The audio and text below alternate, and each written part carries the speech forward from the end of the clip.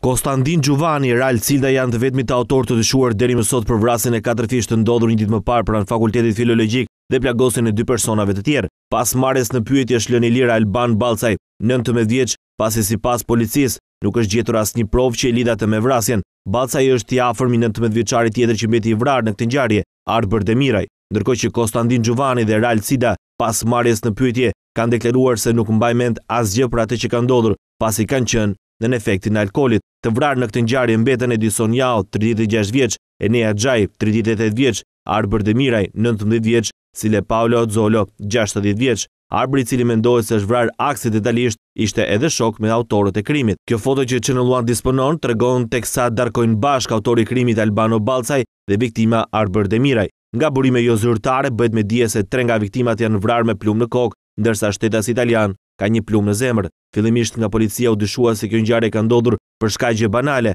ndërkohë që një nga pistat e hetimit është prishja e një pazari droge.